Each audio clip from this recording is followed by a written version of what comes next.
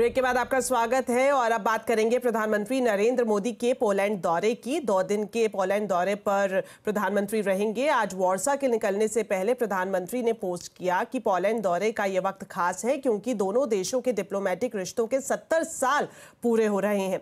प्रधानमंत्री पोलैंड के president Andrzej Duda और प्रधानमंत्री डोनाल्ड टस्क से भी मुलाकात करेंगे। साथ ही वहाँ के भारतीय समुदाय के साथ एक कार्यक्रम में हिस्सा लेंगे। उन्नीस सौ उनहत्तर में मोरारजी देसाई के बाद कोई भारतीय प्रधानमंत्री पोलैंड जा रहा है और इस दौरे में आपसी रिश्तों के अलावा रणनीतिक और रक्षा सहयोग और सांस्कृतिक आदान प्रदान पर चर्चा होगी। 21 और 22 अगस्त को पोलैंड में रहने के बाद प्रधानमंत्री मोदी 23 अगस्त को यूक्रेन की राजधानी कीव भी जाएँगे।